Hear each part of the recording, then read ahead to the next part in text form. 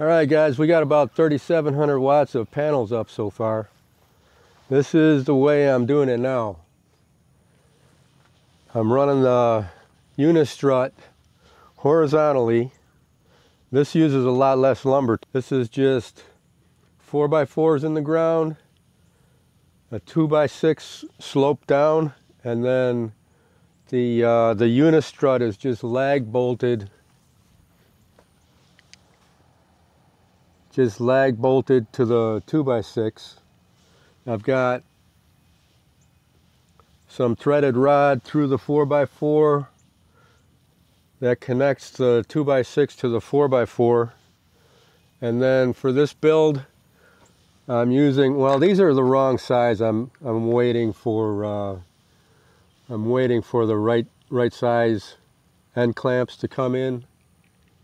These are for thicker solar panels. So I had to put a little spacer in there just, uh, just to keep them secured for now.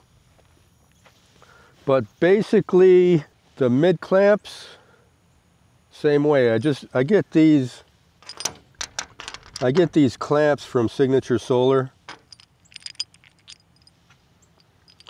And they come with this, with this T-nut for the, some kind of mini rail system. So I take, take those off. I use all the hardware except for that. And then I've got this custom machine T-nut that I just screw on there. And that, let me show you over here. So this T-nut just goes into the unistrut and then when you tighten it, it'll jam in there and allow you to tighten up the screw and it's just below the lip of the unistrut so it doesn't get jammed up on the on the solar panel frame. The original plan here was to go down and put another 15 kilowatts on this array, but I just came across this real interesting company that, that what they do is it's called an earth mount system.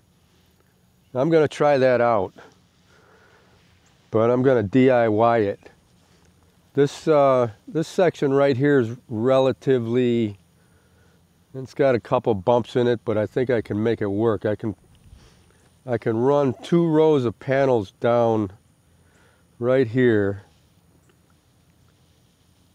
If it works, well, we might go in the back and get, uh, have, a, have a dozer come in and level a pad out, but I want to try it right here. I can probably get my 15 kilowatts in right here. But basically what they do, and the company is called Erthos, if, if you want to check it out. There's not much information on the website, but I've seen several large projects use their system.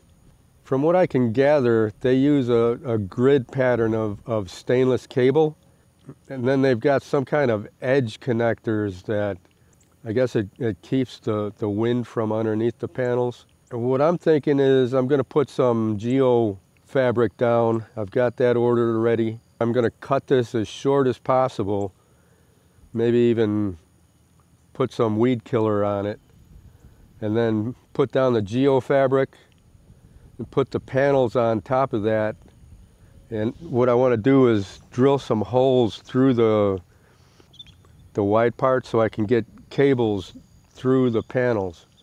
And then I'll, I'll drive some posts in on, on either end. I'll probably have to put some cross wires in too so they don't start, uh, start flying around or picking up off the ground. But also I want to put some kind of a berm around them so the same thing so the wind doesn't get underneath them and start picking them up. I don't know. What do you guys think? Is that a viable idea? It seems like uh, you know if it works it's it's gonna be the cheapest way to get panels mounted. If I decide to go with a bigger array in the back I'll, I'll probably do the same thing. I'll, I'll do two rows at a time leave a path a walking path in between now the Erthos does just one massive big grid square That just seems like, I mean, there, there's a video out there showing them replacing panels in the middle of, of the square.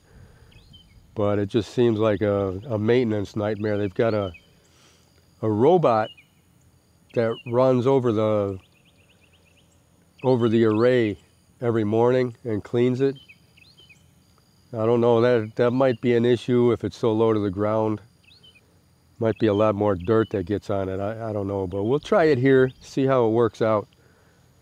And if you guys have any thoughts on this, is it a good idea, is it a bad idea? You want me to try it? Leave a comment below, let me know. If you have any experience with it, sure would be interesting to find out what the outcome was with it. So that's about it for today, guys. I appreciate you. And don't forget to hit that like and if you're not subscribed, subscribe to the channel. And any comment sure helps. We're kind of, I don't know what's happening with, with, the, uh, with the views lately, but we're not getting recommended by YouTube. So anything you can do, put a comment down below, even some kind of a, just an emoji in the comments going to help out a lot. All right, guys, I appreciate you. Have a good one. Bye.